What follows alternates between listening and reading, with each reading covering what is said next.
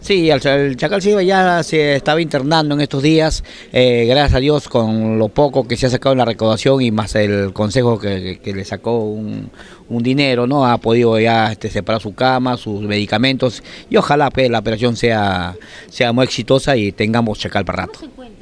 Él está con anímicamente se siente bien porque se siente respaldado por los amigos y la gente de Guaral que los está apoyando, ¿no? Parece mentira, es una, una voluntad de seguir adelante y nosotros siempre estamos pendientes de él, ¿no? Pendientes de él, de su salud y ojalá, como le digo, después la operación eh, sea exitosa y esto, pues como tengamos, como le digo, un chacal Silva para rato aquí en Guaral, ¿no?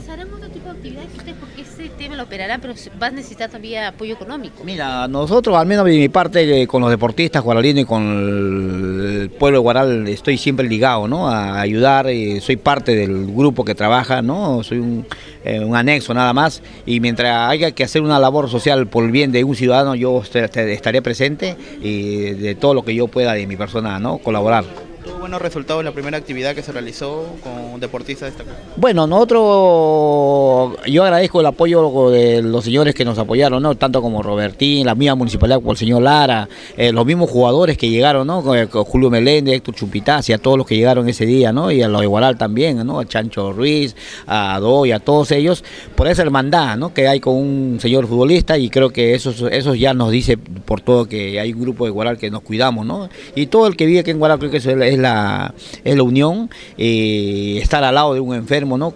Para que salga adelante. Yo me siento agradecido y agradezco también a ellos por su participación. Y así como Silva lo haremos por mucho, quien, quien pueda estar enfermo aquí en Guaral y no tenga una mano cercana que lo, lo ayuda. Estamos nosotros. Yo como regidor en este momento, y si no se vuelve digo, también seguiría de la misma, de la misma manera, ¿no? apoyando al ciudadano, al deportista guaralino.